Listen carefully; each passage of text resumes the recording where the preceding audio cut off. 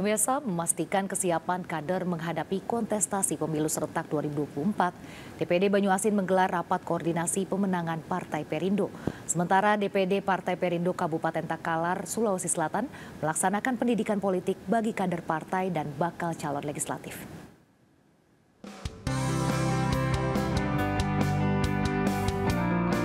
Rapat Koordinasi Pemenangan Pemilu 2024 digelar DPD Partai Perindo Kabupaten Banyuasin. Rakor dihadiri langsung Ketua DPP Partai Perindo Bidang Politik dan Kebijakan Publik Heri Budianto. Bakal calon anggota legislatif DPR RI Dapil Sumatera Selatan I ini memaparkan langkah-langkah strategis pemenangan hingga menata struktur hingga ke DPRT untuk mencapai kekuatan partai antusias dari seluruh pengurus DPD dan DPC dari 21 DPC yang ada di Kabupaten Banyuasin mereka siap untuk membangun soliditas partai. Semangatnya luar biasa.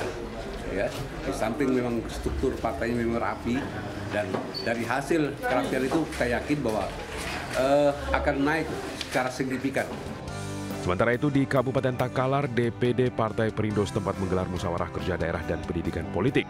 Kegiatan ini dilakukan untuk menjaga kebersamaan dan kekompakan pengurus dan bakal calon anggota legislatif jelang pemilu 2024.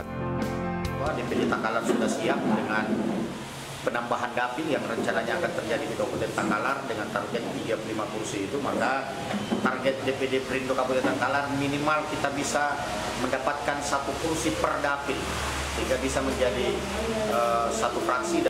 Pengurus dan bakal calon anggota legislatif yang mendaftar di kantor DPD Partai Perindo Kabupaten Takalar akan berjuang demi meraih suara dan kursi terbanyak pada pemilu serentak 2024.